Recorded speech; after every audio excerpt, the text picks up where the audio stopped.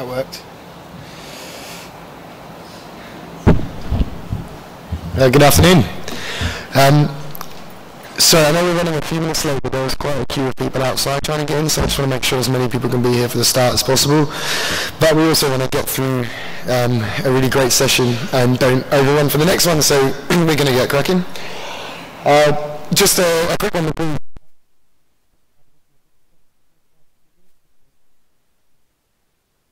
Um, the, there's a website you can log into, which is that, slido.com, and uh, the password is WTM London, or the hashtag, and uh, so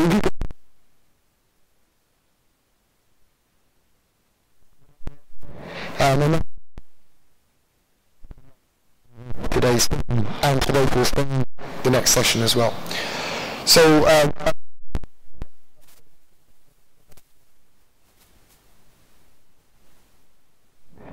She's well.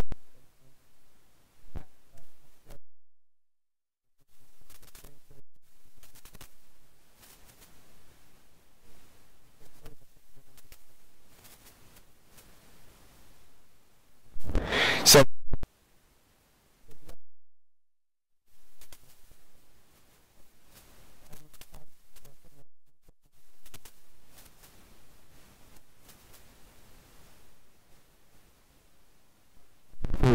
just give it um, for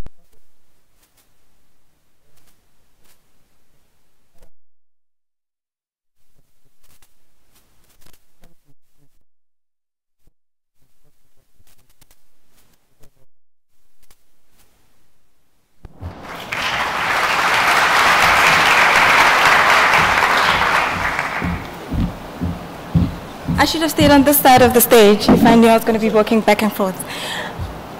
Yeah. Thanks, Michael. You got my name right. Well done. Um, my name is Khomotso, and um, I'm with South African Tourism. And I'm just going to be sharing with you this afternoon just a few of the case studies of how we've worked with influencers previously. Um,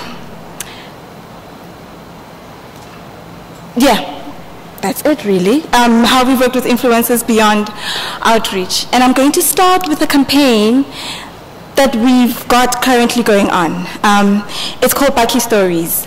And it is the name of a, it is an influencer-led campaign where we have three influencers that are traveling as friends to South Africa. We've got Maya Jama, who is an MTV um, Cannonball presenter.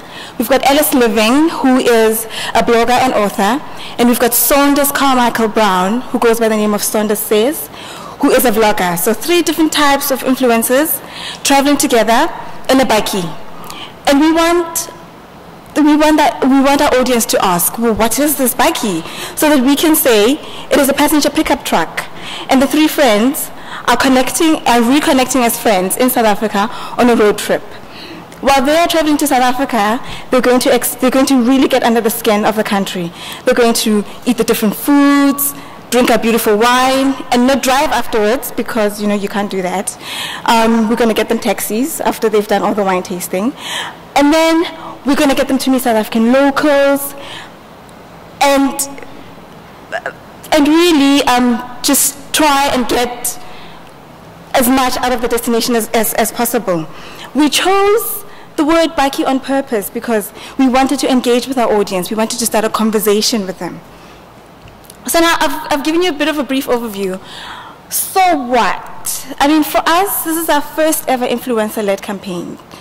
Um, our previous campaigns have always been with reputable outlets where we do a bit of content here and there, or we've hosted influencers who will do a blog post and you know do a tweet, and that's fine.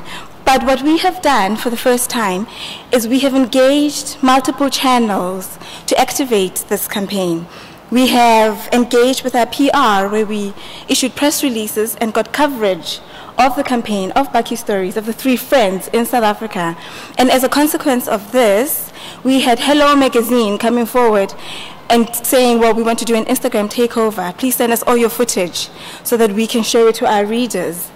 And then we had our very first um, um, no, it's not our first, it's our renovated website where we hosted all the content and where we directed people to come through to our renovated website to see the content, but also get inspiration of what else they can do while they're in South Africa. We also use social media because, because it's an influencer campaign, so it is primarily driven by social. We had a consumer competition where, again, we engaged a lot of the consumers and we said, you know, come watch our episodes and get inspired, um, and maybe you can win your own road trip with your friends to South Africa. And so this has given us evergreen content. The three friends were in South Africa for 10 days, and out of that, we got 17 pieces of content that we're able to use on our YouTube channel. We're able to use for our training purposes. We're able to use in our marketing. A friend sent me a WhatsApp the other day saying, "Oh, I saw an episode on." Um, Channel 4 video on demand. And so we're able to use the, the content that we've generated from influencers, not just for influencer purposes, but spread it right across all our other functions. And I'm going to share with you a video of one of the episodes. Hello, I'm Maya Jama. Hi, I'm Alice Levine. I'm Saunders. And this is Bakkie Stories. We're going from Joburg to Cape Town, the long way round. We're going to experience some amazing restaurants and try some incredible cocktails. Don't forget about the sharks and the bungee jumps. But what are we doing now? I reckon we should go check out Joburg. Yeah, so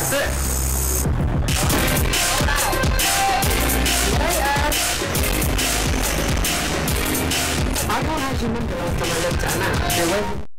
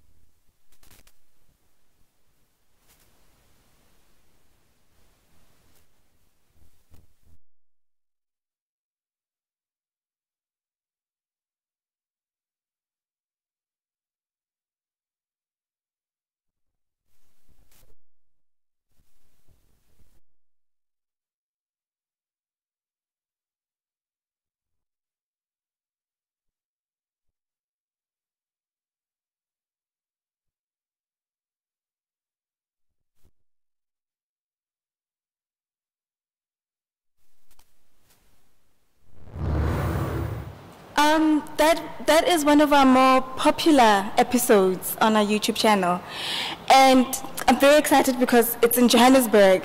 I'm not sure how many of you here know South Africa at all, but Johannesburg is just one of those places where genuinely you do not expect to buy a fresh pineapple in the middle of the street, in, you know, in the middle of Johannesburg, which is really exciting. But we've got 17 of these episodes, really, um, I mean, the longest one is about two minutes, but bite-sized chunk that we're able to feed them through social media and that are able to um, start a conversation with our audience. This is currently going on. If you're in the UK, follow our channels. There's a competition that's running until the 9th, so you can win your very own road trip to South Africa. Um, the next uh, project that I want to share with you, it's previous campaigns that we've done, also with influencers. Um, this is a picture of a UK band, Mumford and Sons, for their performance in Durban in South Africa. I remember the day I got the call, a guy calls and says, do you know um, a bank called Mumford and Sons? And I remember thinking, no, no, I don't know a bank. I know a musical group. I know a band.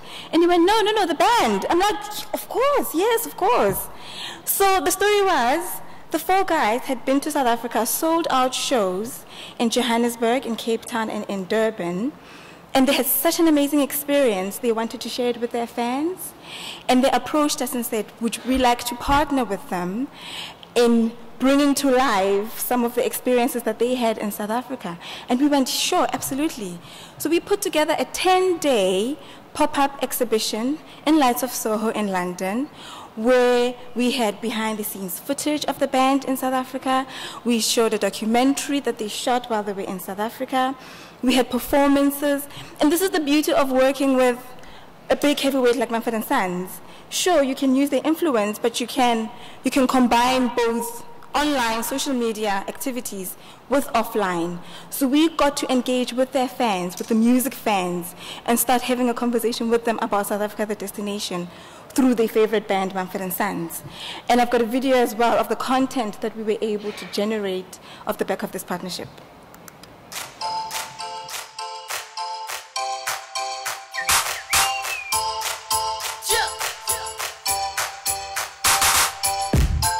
Hi, Ben Lovett here from Mumford & Sons. Just wanted to share a couple of my favourite moments from our first trip to South Africa.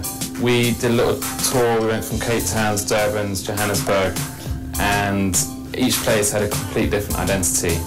And I think that's what was so amazing about just that brief couple of weeks we spent in the country is that you can kind of really get everything from amazing seaside um, beaches that unbelievably beautiful and kind of swim around with penguins, all the way to a really exciting city that is, that is Johannesburg. It feels like it's right on the cusp of being one of the most progressive, forward-thinking cities in the world. And uh, we got to spend, luckily, almost a whole week in Johannesburg and meet a whole bunch of interesting people, especially down in the, the Braamfontein area. And yeah, it just kind of felt like, as ever, uh, as we are traveling the world as a band, just sponges taking all this information and really being inspired. And I, I, couldn't recommend it more just to go and if you kind of want an urban like revitalization, definitely head to Johannesburg. But if you want to go and kick back and enjoy some sunshine and some good wine and have a have a holiday, uh, Cape Town will will look after you really well. I think there's an unfair brushstroke put across the whole of Johannesburg as kind of a you can't walk on the streets. Well, it's the first thing everyone, yeah, like, there's a lot of fear mongering around, isn't there? Yeah. It's the first thing everyone says to you, oh, be careful. The younger people in Johannesburg right now are definitely really trying to like take a huge amount of pride in, in redefining that perception of this, the city. And that's pretty exhilarating. Those conversations are pretty amazing to be around, really. People want to do something about it.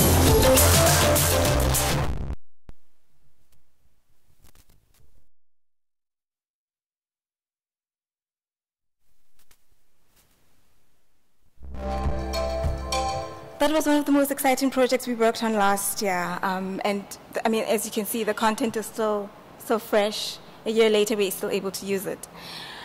The last campaign that I'm going to share with you was a partnership with our friends at Panasonic Lumix. They were launching um, a travel camera, and they wanted to work with us um, because they saw synergies in the audiences that we speak to and the audiences that they also speak to. And we were able, through this partnership, to work with influencers in South Africa. Because when you think about it, the traveler these days um, does not have to rely on a brand promotion video from a tourist board. They can very easily find an influencer in the destination to follow because that is where they get a true depiction of what the destination is about. And so we played on that and we used that to our advantage where we engaged with two influencers that are based, one in Johannesburg and one in Cape Town, that's Kyle and JJ.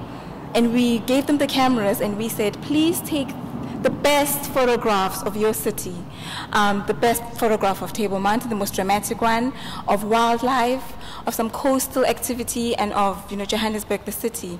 And we promoted this through social media. We asked our followers to send us their previous travel photographs depicting the same. So send us your wildlife photograph following the zebra one, and send us your, your, your, your scenery photograph following Kyle's one of Table Mountain. And what this allowed us to do was through influencer engagement, is these are people who, these are travelers who've been everywhere else, who've been to our competitor destinations, who've been to Costa Rica and everywhere else, but we are asking them to come and take their next best photographs in South Africa. And we are using influencers in South Africa to, do, to help us um, do this. And the, the, the other thing that we're doing with South African influencers is whenever we host influencers from the UK into the country, we connect the two. So JJ could very easily collaborate with an influencer from UK and show, you know, the influencer from here, you know, the best places where he goes for wildlife photography or whatever the case might be. This again was a very exciting partnership that we did. Um, in terms of some key lessons that we learned along the way, there really is no one size fits all in terms of how you work with influencers. And each one is different. And sometimes it really has to be led by the influencer because they're the ones that have built up their community. They're the ones that know their fans and their followers more than you do. And so you can't very well do a script and say, yes, here it is, follow it to the letter on brand. You have to almost let them do their thing and communicate the way they want to with their followers. What we've also learned, especially with working with non-travel brands, is it helps us have a conversation to inspire and to help, you know, to help travelers in their consideration stages. Um, with, the, with the camera one, for example, I was saying, I was saying earlier to somebody that it's we want you to say, I'm, I'm, buying a camera to travel and I want to take this photograph in South Africa. And this is allowing us to have those conversations with people that are not necessarily in travel. But what we're also learning as a tourist board is establishing long-term partnerships with bloggers and influencers. And this is a thing that we're still trying to get right. But we don't want a situation where we, you know, we have a relationship with an influencer. They do one video, one tweet, one Facebook, shake hands, thank you, bye-bye, it was nice knowing you. We want to be able to build a mutually beneficial long-term partnership because then it shows from the, from the influencer point of view that they genuinely do believe in us as a destination and that their followers will see that. We're also trying very hard to work with uh, B2B partners to incorporate the trade because it's very well to inspire, but not everybody is in the same place in terms of where they're at with their holiday planning. Some people genuinely are looking to be inspired. Some people are looking for a little bit of extra planning. Some people are ready to buy, and we need to be able to facilitate that with our trade partners. And that is one of the things that we're learning as we go along. And so I hope I didn't bore you too much. That's my details. Please follow us on social media. Bakkie Stories is still on, it's still up. Hashtag Bakkie Stories. Their social media um, um, handles. And yeah, I look forward to all your questions later. Thank you.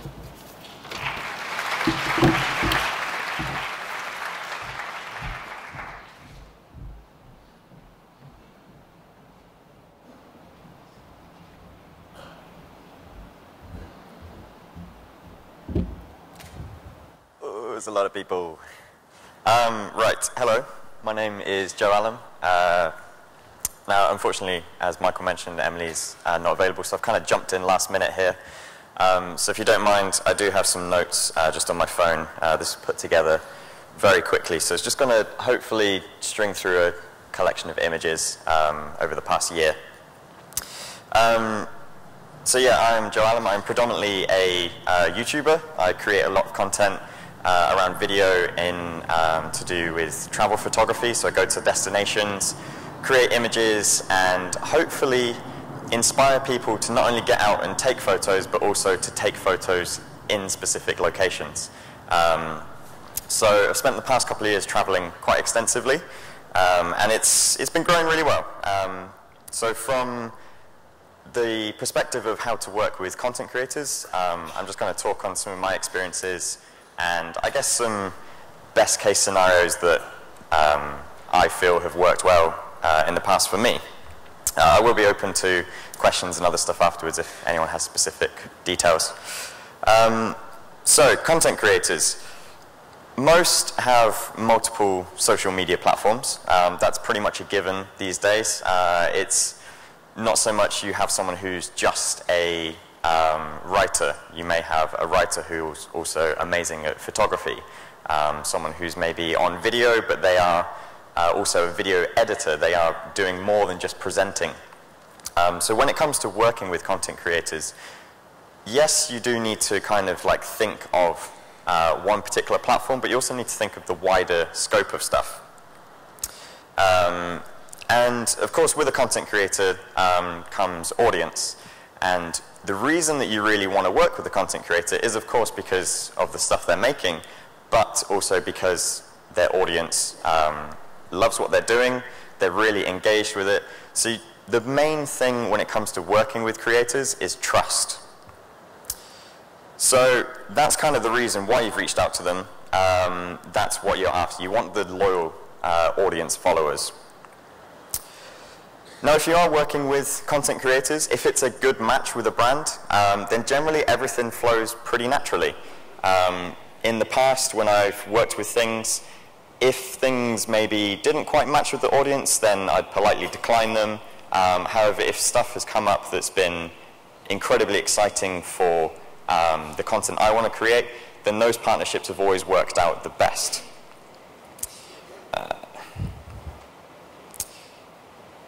So not only is it just about the social media aspect of things, um, so thinking wider than you know just say creating videos, sending a few tweets, creating Instagram stories.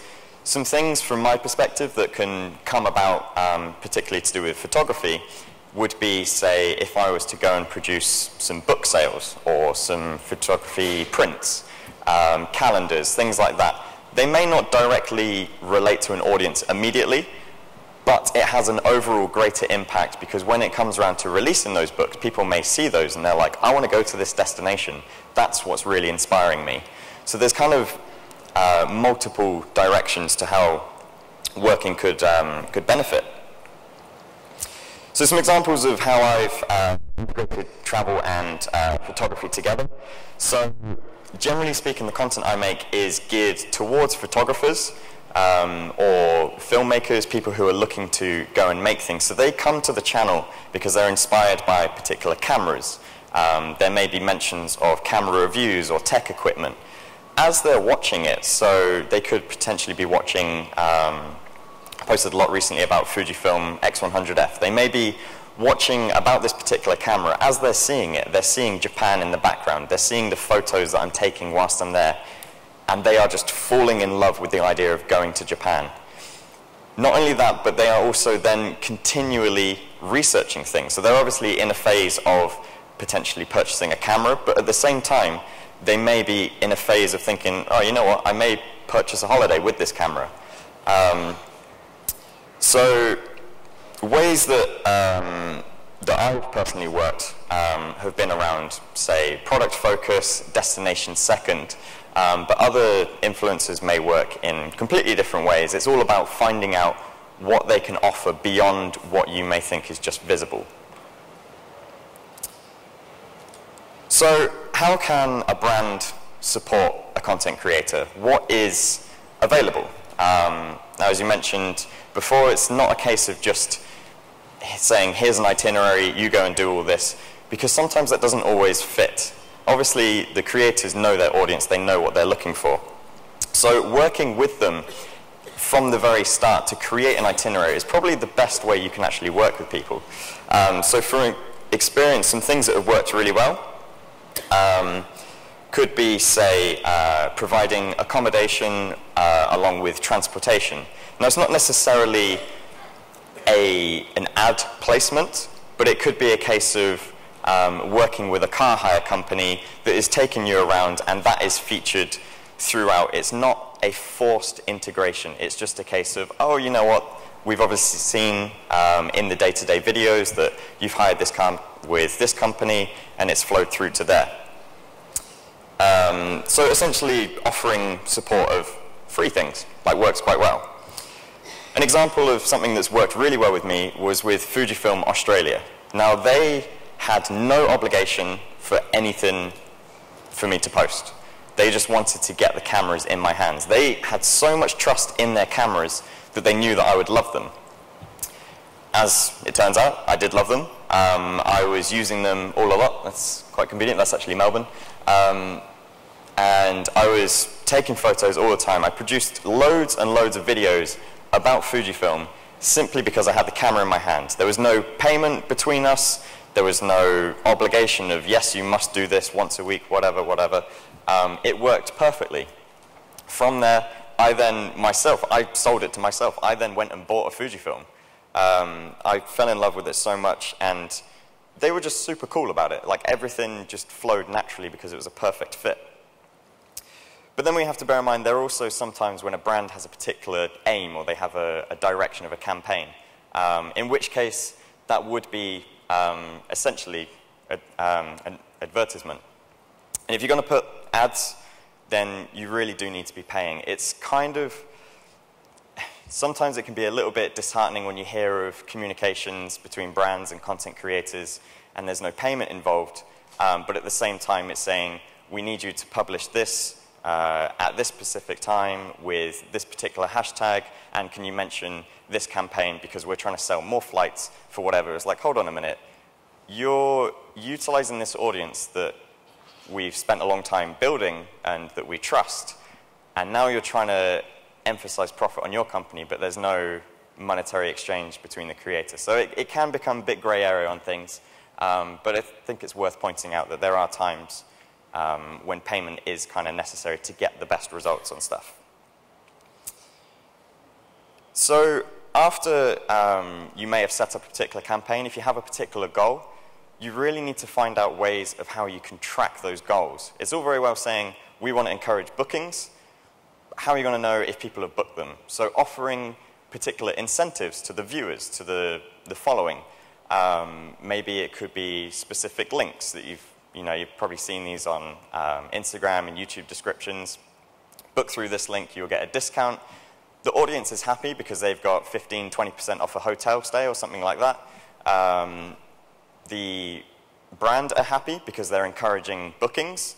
And the content creator is happy because they're able to offer something of value. It's not a case of they're the only one getting something free out of the exchange or they're not, um, they're not taking in all of the glory from the audience. Um, following all of the work and the campaign, it is paramount to follow up. It's really quite sad to hear um, from both the brand's perspective and a content creator's perspective when after something has happened, silence. Like you just, you finished a campaign, you've not heard anything. It's always just nice to just carry on and communicate. You know, how did the campaign go? Did it achieve what you liked. My audience seemed to like it. Here's some great comments that I've had from that. Just to really round it up. Because at the end of the day, everyone at companies and everyone who's a content creator, we're all just people. We're just trying to make the best stuff. So if there's something that maybe hasn't gone particularly to plan, maybe you can find out how to fix it for the next time. Maybe it wasn't a perfect match. Um, but yeah, just the idea of leaving someone in the dark after you finish something is kind of a bit disheartening. Um, so yeah, make sure you do that. And I always encourage feedback. I think it's nice when you've finished something to just say, was there anything that I could have done better? Was there anything that I should have done or that I completely missed from the mark? Likewise, communication throughout the whole brief, um, but afterwards uh, is definitely important. Um, so yeah, I can talk for ages about um, working with particular brands, and I've got you know plenty of time for this afternoon. Uh, I hope that was all good in some way. I hope Michael was happy. That was, uh, yeah, jumping at the last minute. But thanks.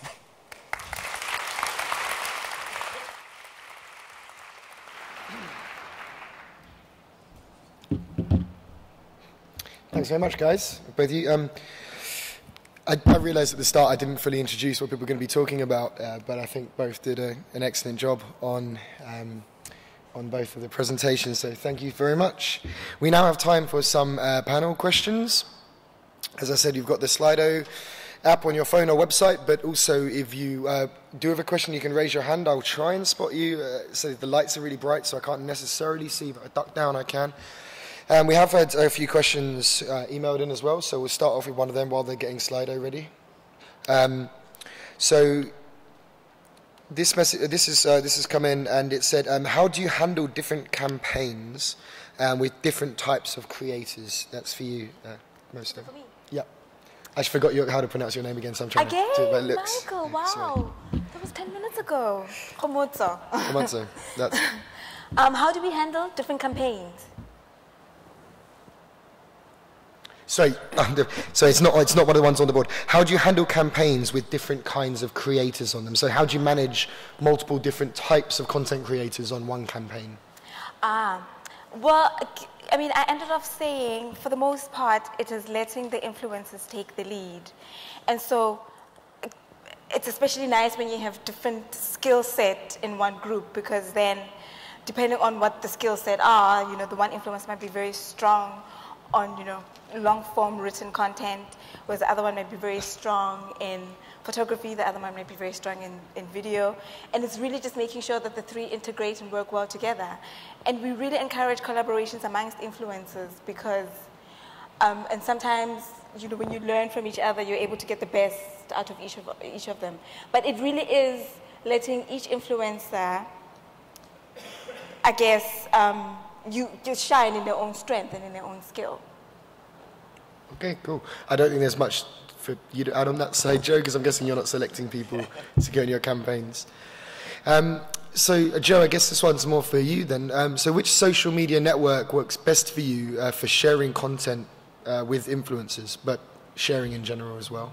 Yeah, um, so primarily my, my biggest audience is YouTube. Um, but it wasn't my first audience. So I was, uh, I'd been writing a blog about seven years before I started YouTube. Um, pretty sure no one read it. Um, I was just happily posting photos, just writing whatever, um, you know, sharing it with former colleagues and all sorts. But as soon as I started YouTube, um, that was when the audience just started to roll in.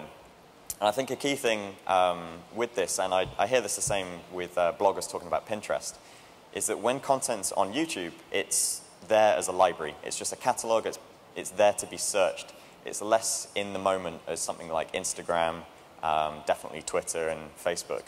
So, and of course YouTube is the second largest search engine in the world. So definitely for me, YouTube. Um, following that Instagram, uh, I personally love it. Um, I feature my work on there all the time. Um, since the stories functionalities have come about, that works really well, and at times get more engagement through stories, which of course are so short-lived, you know, they're 24 hours, um, than I would if I'd have posted something, um, I don't know, for maybe a couple of weeks or so. Um, so yeah, YouTube and Instagram, I'd say are top for me. Okay. Um, anything else to add? I'm, not even going to try anymore. Okay, great. So um, for the Bakkie Stories yeah. uh, campaign that you did, uh, what were the criterias, um, or were the, the, criteria that you used for selecting the influencers? Um, we want we want Bakkie Stories to to come across as three friends, and so the biggest criteria was three people who would who who, would get along, because the last thing we wanted was to put three people in a bakkie across South Africa for 10 days and they be personality clashes. But as well, it wasn't just the number and, or follow count. We wanted different, Maya Jama was, came out quite obviously as the leader of the three, um, be, you know, because of, you know, her work on MTV.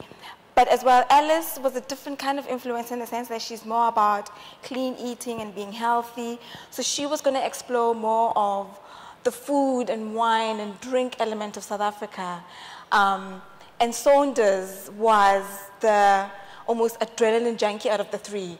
Who, he was the only one, incidentally, who in Durban jumped off the biggest, the tallest swing in the world. And the girls went, oh, well, we'll let you have this. And so, and so it's, it's, it's nice to have different kinds of personalities and different kinds of, I suppose, niche areas that they that each of them brought, um, and it made the three, the chemistry between the three really work. So it wasn't just purely numbers and follower count, but it was the fact that each of them brought something different into the Bakkie, really. Perfect. Yeah, I think the, the importance of finding people who get along together for a trip like that comes so far above anything else. We, uh, we ran a campaign with Traverse with uh, 50 influencers last year, which was a week away, and that was our number one criteria: getting, picking people who we know are going to get along. Because if you have one argument, it can spill over to lots more. Um, secondly, to that comes how effective they are as as what. So, thank you. Um, from that campaign, what would your uh, how are you measuring like the the return on investment, the KPIs? Uh, well, what were your KPIs specifically? Um, there, there were a number. Um, were, the, reason for the, uh, the other reason for the influencers was because they appealed to what we call our wanderluster audience. And this is the audience that we have discovered through our own research that they're likely to travel to South Africa sooner and they're likely to overcome some of you know some of the barriers. They're the ones that will be looking out for deals. They're the ones that will take recommendations from these influencers, you know, to make decisions on their next holiday. And so the objective was to get a lot more engagement out of our younger Wanderluster audience. Um, and some of our key performance areas were, of course, increased engagement on our social channels, but as well, we had a renovated website and we wanted to get as many people as possible visiting that. And so that was one of the call to action a lot on visit our website for more information, for example. So that was one key, um, key performance area that we were keeping a very close eye on.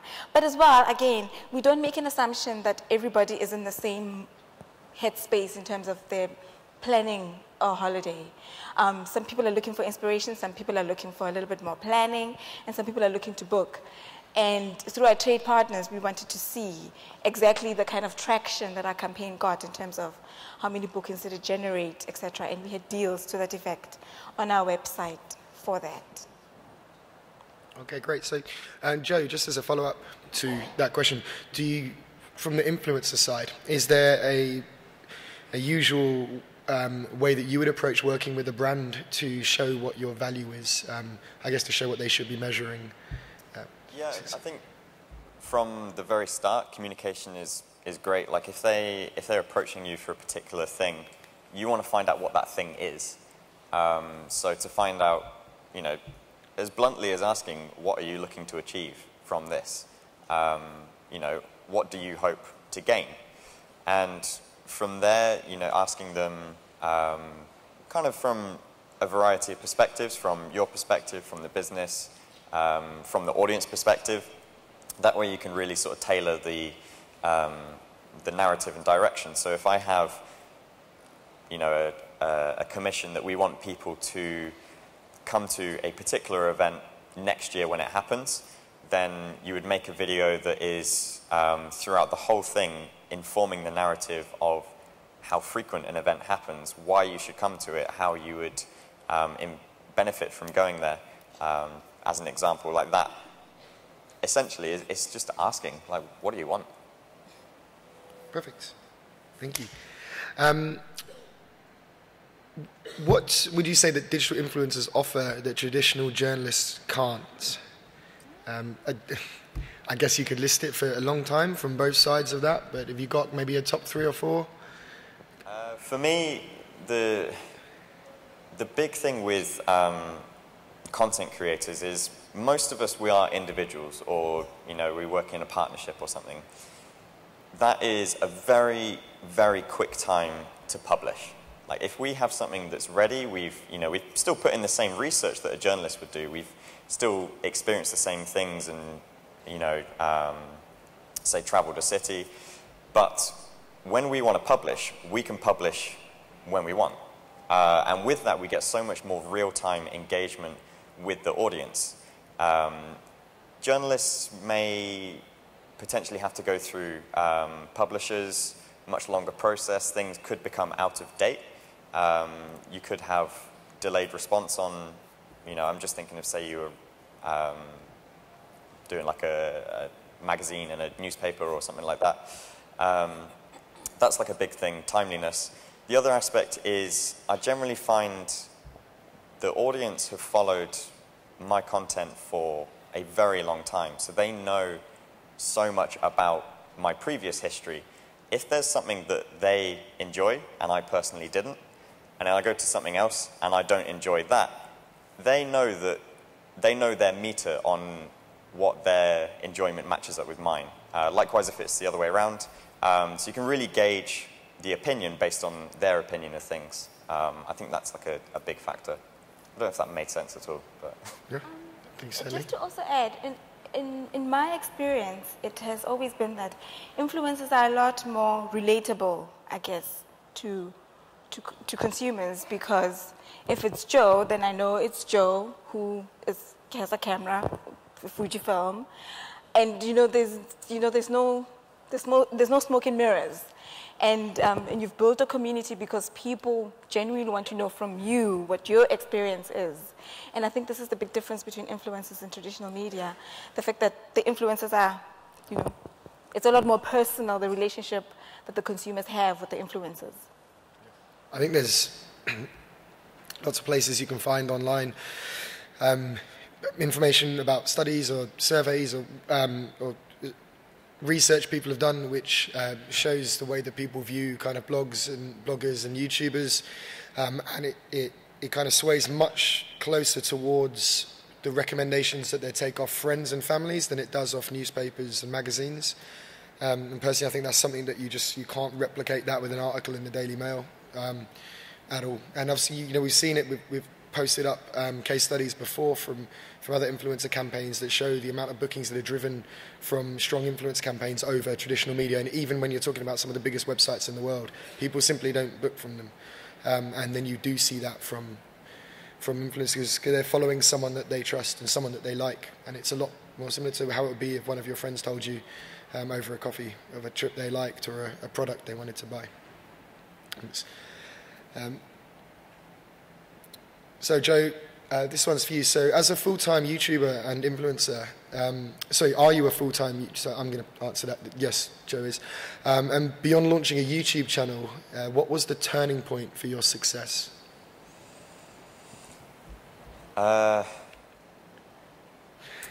interesting. Um, so yeah, I, I do work full time. Um, I I think I kind of pushed myself full time maybe a little bit earlier than I was financially able to. Um, for me, the passion is and will always be to make content. Um, I love taking photos. I love making videos. Um, a turning point to making it more comfortable. Um, it's difficult. I think um, I think working with Fujifilm actually was a big turning point for me because it it opened me personally up to a new experience of using Fujifilm. Fell in love with it so much, and it came through so naturally in the videos.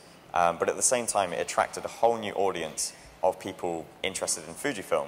Um, matching that up with doing the same thing but in Japan, which again captured my heart um, a couple of years ago, and just the passion comes through so much about Japan.